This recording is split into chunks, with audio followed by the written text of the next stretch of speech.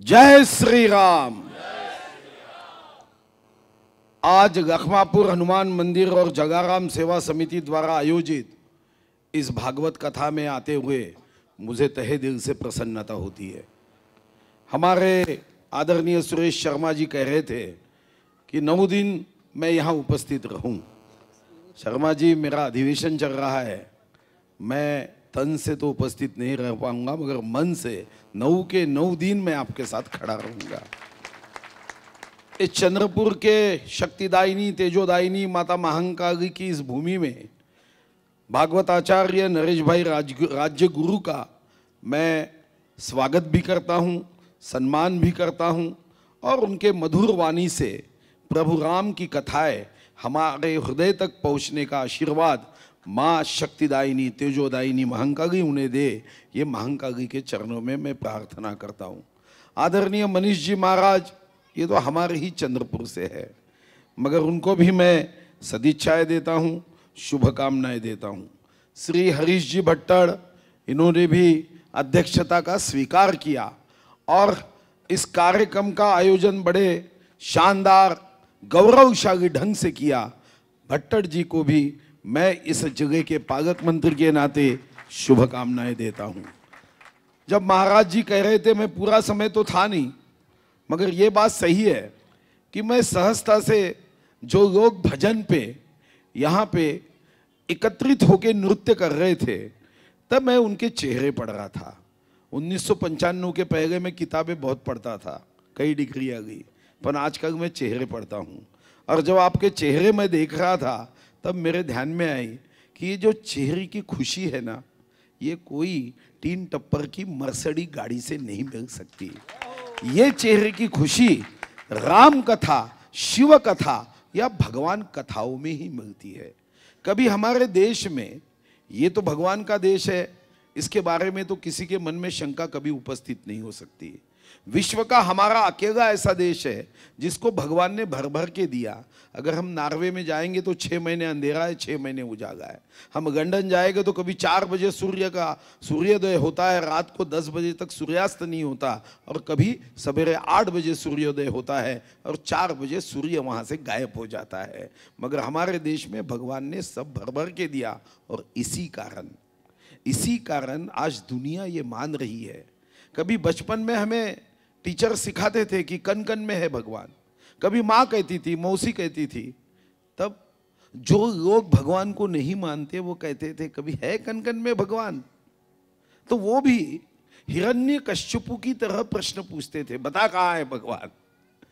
आज अमेरिका के रिसर्च में, अमेरिका के साइंटिस्ट ने यह कह दिया है कि हर वस्तु में, हर चीज़ में अनुरेणु है। मगर उसके साथ एक गॉड पार्टिकल है। और इसलिए अमीर अमेरिका में 20 लक्ष लोग आज अध्यात्म की ओर जा रहे परसों आपने वीडियो देखा होगा कि यूरोप में एक गाँव का गाँव, जो वहाँ के अमीर थे, धनवान थे, मगर मन में समाधान नहीं था। वो गाँव में आए और अब हरे राम, हरे कृष्ण कह रहे हैं।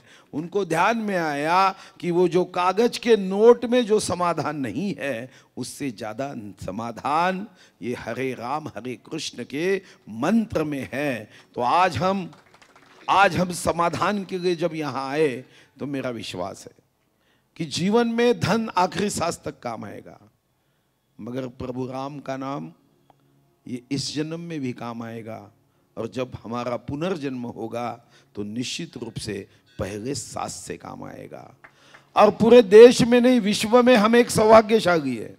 चंद्रपुर की जनता इसलिए सौभाग्यशाली है कि जब 22 जनवरी को प्रभु राम के जन्म स्थान में अयोध्या का राम मंदिर दर्शन के लिए खुला होगा तो चंद्रपुर कर जनता यह अभिमान से कह सकती है कि कोई भी भक्त उस मंदिर के कोई भी द्वार से जाए वो द्वार हमारे चंद्रपुर का है, क्योंकि सारी लकड़ियाँ उस मंदिर को, सारा कास्ट ये हमने अपने चंद्रपुर से दिया है। तो भगवान के राम के चरणों में तो सिर्फ़ इतनी ही प्रार्थना है।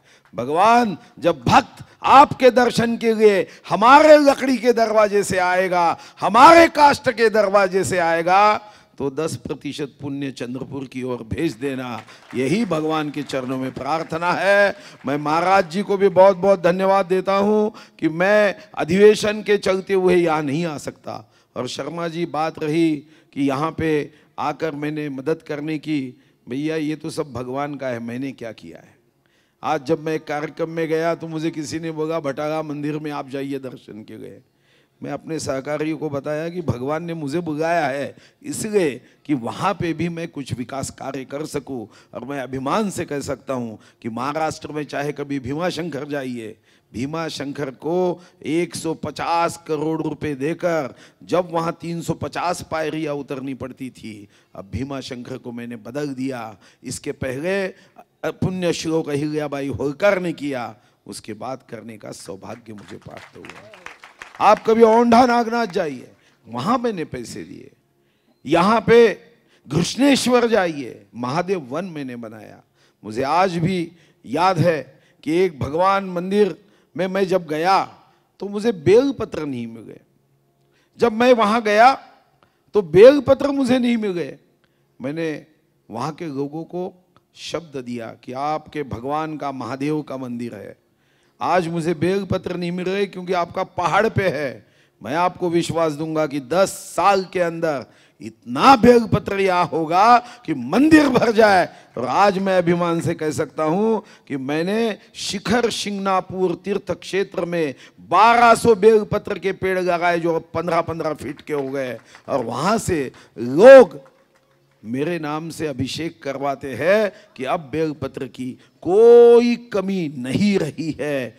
मेरा विश्वास है कि हमारा देश विश्व गुरु बनाने की जो सोच, संकल्प आदरणीय प्रधानमंत्री का है तो हम सामाजिक, सांस्कृतिक, आर्थिक, मगर उसके साथ आध्यात्मिक दृष्टिकोण से अगर आगे नहीं जाएँगे, अगर प्रभु राम की कथाओं से अपने अंतर्मन को नहीं पवित्र करेंगे तो शायद धन तो रहेगा मगर समाधान नहीं रहेगा। किसी ने सही कहा है कि अठारहवीं सदी में विज्ञान तंत्रज्ञान का अभाव था सुख समाधान का प्रभाव था। आदमी अकेला नहीं था। अब विज्ञान का प्रभाव हुआ है तंत्रज्ञान का प्रभाव हुआ है। हाथ में मोबाइल आया है मगर आदमी दुखी है।